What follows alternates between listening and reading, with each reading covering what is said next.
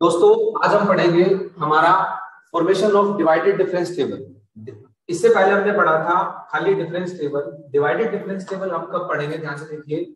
हमारे पास जो स्पेसिंग होगी ऑफ़ इंटरवल्स वो कैसी होगी? अनइक्वल देखिए, ध्यान से हमारे पास एक डाटा गिवन है एक्स और एफ़ एक्स वैल्यूज़ है minus one one two three आप देखिए, इन दोनों में स्पेसिंग है टू का, इनमें है वन का, इनमें है वन का. तो अगर हमारे पास इक्वल स्पेसिंग हो तो हम यूज़ करते हैं फॉरवर्ड डिफरेंस टेबल और बैकवर्ड डिफरेंस टेबल जो हमने पिछले लेक्चर में किया था।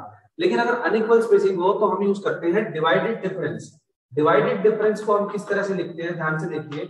हमारा इंपॉर्टेंट कंसेप्ट है ये और अनइक्वल स्पेसिंग के लिए। देखिए डिवाइडेड डिफरेंस को नोटेशन होती है डेल्टा के अंदर हम एक डिवाइडेड सिंबल लगा देंगे।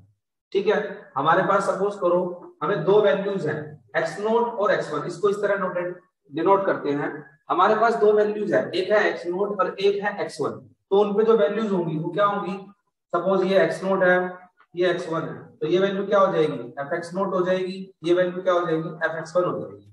अब ये अनइक्वल स्पेसिंग में है तो डिवाइड डिफरेंस कहता है कि एफ़ एक्स वन यानी वैल्यूज़ का डिफरेंस कर लो। डिवाइड बाय जो आर्ग्यूमेंट्स हैं, उनका डिफरेंस इनसे डिवाइड कर दो एक्स वन माइनस एक्स तो ये हमारे पास डिवाइडेड डिफरेंस का सिंबल है। अब देखिए, हमें डिवाइडेड डिफरेंस टेबल बनाना है। तो बनाओ divided difference table divided difference table के लिए हमें डाटा गिवन है अनइक्वल स्पेसिंग का x या फिर y is equal to f देखिए डाटा में क्या है? माइनस वन वन टू और थ्री ये हमारे पास डाटा हो गया। वैल्यूज़ गिवन है minus twenty one fifteen twelve और थ्री देखिए मोस्ट इंपोर्टेंट कंसेप्ट है, इसको ध्यान से सुनिए। अब देखिए हमें बनाना है फ़र्स्ट डिवाइडेड डिफरेंस तो उसके लिए हमें क्या करना पड़ेगा? डेल एफ़ हमने फ़र्स्ट डिवाइडेड डिफरेंस लिखना अब इसमें से इसको माइनस करो क्योंकि ये फ़ंक्शन की वैल्यू है, या आर्ग्यूमेंट्स की वैल्यू है। तो बनेगा 15 minus minus plus 21 divide by 1 plus 1 is it fine ये हमारे पास क्या बन गया? 36 बाय 2 यानी कि 18 हमारी वैल्यूज़ आ नेक्स्ट पे चलो, और लिखना इन दोनों के बीच में।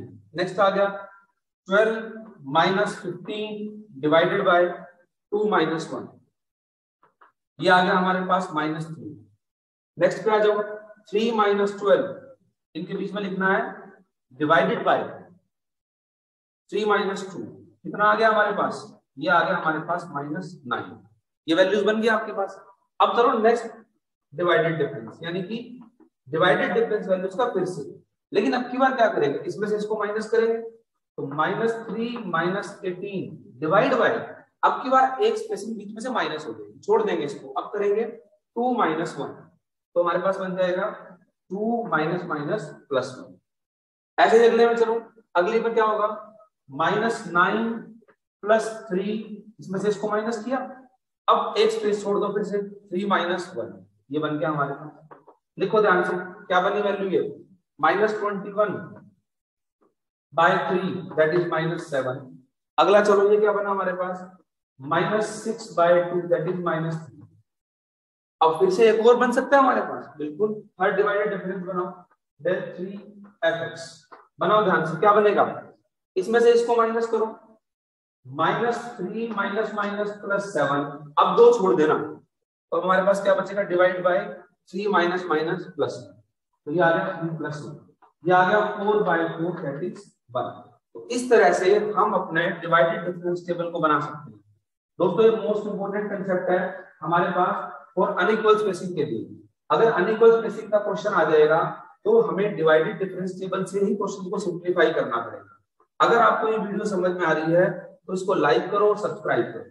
अब देखिए ध्यान से, हमारे पास ये टेबल बन गई। अब इस टेबल से हमें कुछ भी कहेगा। Find third divided difference value क्या आ गई? वन आ गई। अब सपोज़ हमारे पास कई बार क्वेश्चंस में हमें इस तरह से ना क्वेश्चन गिवन होके टेबल ना देके हमें ये क्वेश्चन गिवन दे दिया। ध्यान से देखना सर कह दिया find del square x square y and z अब देखिए ध्यान से एक्स स्क्वायर हो गया मेरा फ़ंक्शन और मेरे आर्ग्यूमेंट क्या हो गए? एक्स वाई और जेड हम सेम इसी तरह से अपनी डिवाइडेड डिफरेंस टेबल बनाएँगे। सभी ध्यान से देखना डिवाइडेड डिफरेंस टेबल को। हमारे पास एक्स की जो वैल्यूज़ है वो क्या हो गई? एक्स वाई जेड फ़ंक्शन की जो वैल्यू है वो क्या है? एक्स की है तो एक्स स्क्वायर वाई की है तो वाई स्क्वायर जेड की है तो जेड स्क्वायर निकालो second divided difference it is very easy first divided difference table निकालना है डेल एफ़ एक्स क्या बन गया ये? Y square minus x square divide by y minus x cancel out हो जाएगा वाई माइनस एक्स क्या बच गया? वाई प्लस एक्स अगली बात Z square minus Y square divided by Z minus Y cancel out हो जाएगा जेड माइनस वाई क्या बच गया? जेड प्लस वाई अगली वैल्यू निकालनी है डेल स्क्वायर एफ़ एक्स अब इसमें से इसको माइनस करो। करोगे तो क्या आ गया? Z plus Y minus Y minus X divided by एक को छोड़ दो। Z माइनस एक्स वाई से y cancel z minus X divide by z minus X one तो हमारे पास ये वैल्यू क्या आ गई? एक कांस्टेंट वैल्यू आ गई। इस तरह से हमारे पास कोई भी क्वेश्चन हो अनइक्वल स्पेसिंग का, और हमें कहा जाए कि डिवाइडेड डिफरेंस टेबल बनाओ तो हम उसको इजीली बना सकते हैं। दोस्तों, अगर वीडियो समझ में आ रही है तो उसको लाइक करो सब्सक्राइब करो शेयर करो। हमारे लिए बहुत इंपॉर्टेंट कंसेप्ट है। Thanks to all of you